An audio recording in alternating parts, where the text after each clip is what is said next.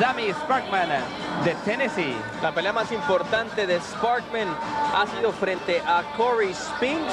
Ese duelo lo llevó a cabo el 26 de noviembre del 99 allá en Nueva Orleans y cayó por decisión en ocho asaltos. Así es que le ha aguantado a uno de los aspirantes a título mundial, un importante eh, combate para él.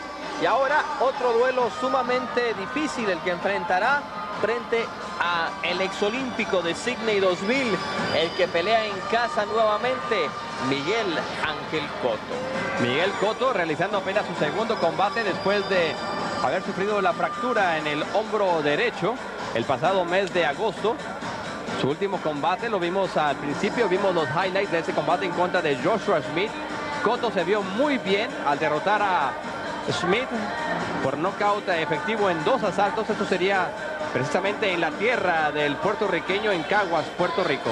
Así es que lleva racha de tres victorias por la vía del cloroformo.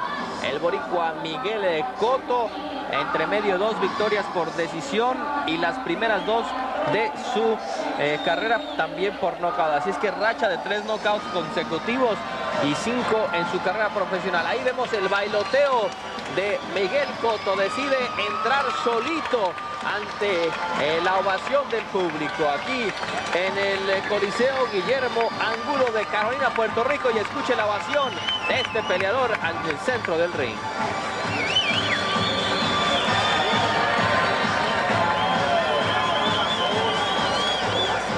Podemos ver en la parte de atrás del pugilista que también tiene ahí su website, miguelcoto.com. Amigos, vamos a hacer una pausa, regresamos con nuestro primer combate estelar, el combate estelar aquí en Solo Boxeo, Miguel Cotto en contra de Sammy Sparkman.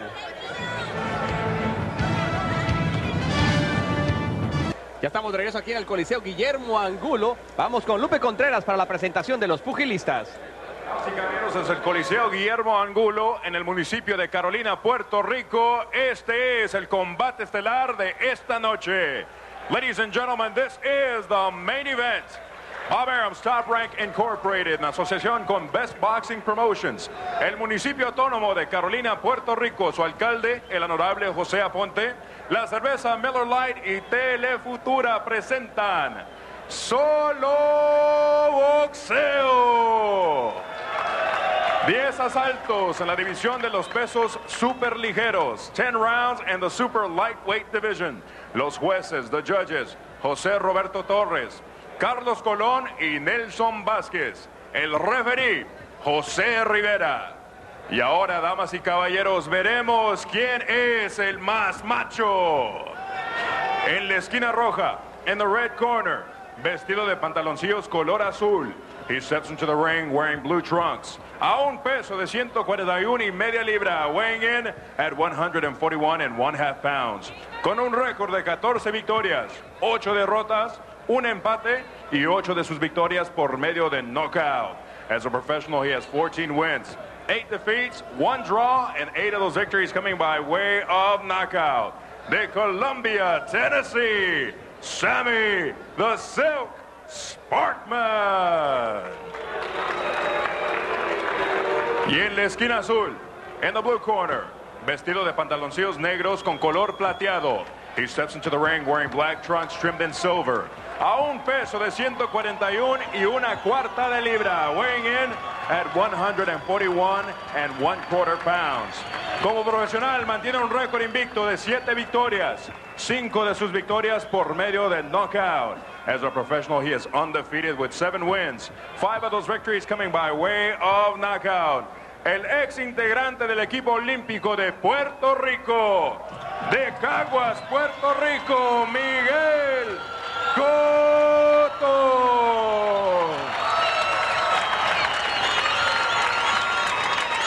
Vamos para las últimas instrucciones de José Rivera, las va a tener que ser bilingües.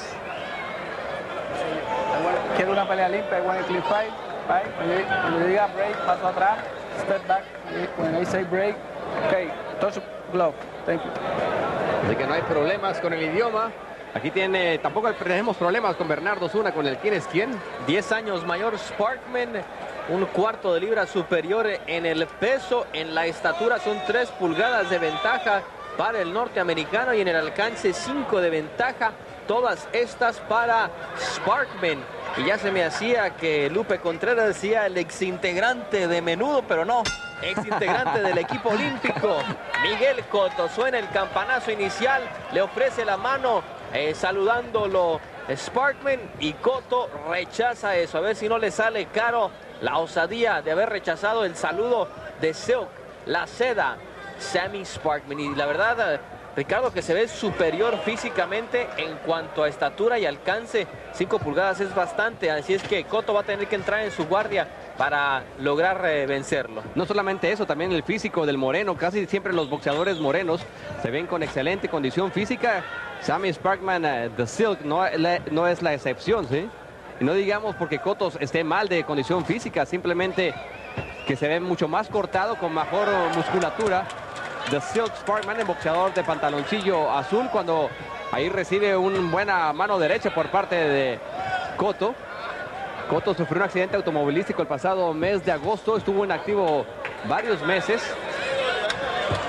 Y hay que tomar en cuenta, Ricardo, que el deporte de los puños no es eh, siempre uno en el que la corpulencia física o el estar tan bien cortado no, no, eh, resulta en, en completamente de victoria acuerdo, porque sí. Si tomamos en cuenta el eh, combate estelar de la semana pasada, Jorge el Maromero Páez y Tom Boom Sí. Boom Johnson, parecía fisiculturista Tom Boom Boom Johnson y fue noqueado fácilmente por Jorge el En el segundo Maromero asalto, Páez. sí. Así es que este deporte es muy engañoso, la condición física ahí, buena mano derecha por parte de Miguel Cotto que hace girar prácticamente 180 grados a Sammy the Silk Spark. Ahí la, ventaja del alcance de Sparkman se vio completamente al sacudirle, pero la combinación por parte de Cotto muy bien, haciendo sus combinaciones. Sparkman, un boxeador a pesar de que tiene mayor ventaja, ventaja en el alcance, es más lento. Hay un choque de cabezas. Les decía que es bastante lento Sparkman, sí, está telegrafiando sus golpes. Mira, Sí, y la verdad que a él es un peleador en el que estoy notando una desventaja de tener el alcance por lo mismo, porque tira los golpes demasiado abiertos y los anuncia perfectamente por su lentitud. Y es lo que está aprovechando Mira. al máximo Miguel Cotto. El movimiento de cabeza que está haciendo Cotto es excelente para quitarse los golpes que le está señalando Sparkman, que le está tirando Sparkman. Por lo tanto, ahí está una vez más, falla el uppercut, falla el cruzado de derecha Sparkman, ¿sí? Y es simplemente por eso la lentitud del boxeador. Muchas veces la velocidad es lo que le da la ventaja a un pugilista y lo estamos viendo en esta ocasión, la diferencia de Cotto en contra de Sparkman. Y lo vimos anteriormente con Iván Calderón, que como relámpago tiraba los golpes. Ahí una excelente mano que le conecta a Sparkman a Cotto, sin embargo, con la espalda en contra de las cuerdas y el excelente bending de cintura. Miguel Cotto logra eh, sacarlo mejor en este primer episodio. Pelea pactada a 10 vueltas aquí en Solo Boxeo Telefutura. Y el próximo viernes le tendremos otro gran combate. Así es. Estaremos en Oroville, California, con el combate entre Juan Lascano y Julio César Sánchez León. Ahí teníamos a Juan Lascano, aquí tenemos a Sánchez León. 20 victorias, 11 derrotas, 14 de ellas por la vía del cloroformo. Lascano 28 victorias, solamente dos derrotas.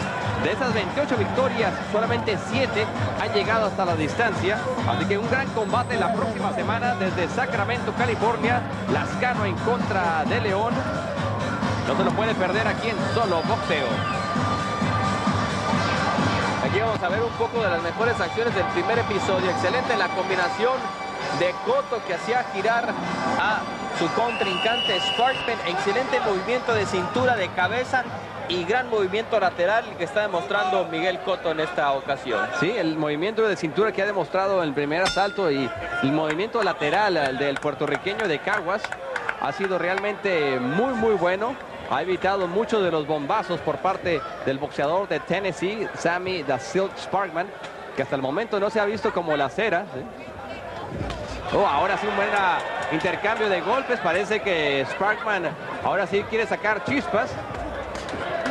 O lo regañarían entre asaltos al peleador de Tennessee.